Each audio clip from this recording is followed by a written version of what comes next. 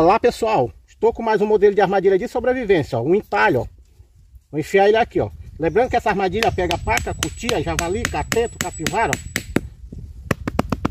Aqui eu tenho a banana, ó, preso no nylon. A banana para atrair a caça. E aqui eu já tenho um gatilho, ó. Um gatilho bem comprido, ó. Eu vou pegar aqui, ó. Vou colocar a banana aqui, ó, presa. Está no nylon. E vou drobar aqui, ó. Olha aí, ó, pessoal. Como é que eu vou armar, ó. Aqui está armado nossa armadilha, ó. Agora eu vou só abrir aqui o laço, ó. Botar a banana no centro, ó. Você pode estar tá usando um cabo de aço, viu, pessoal?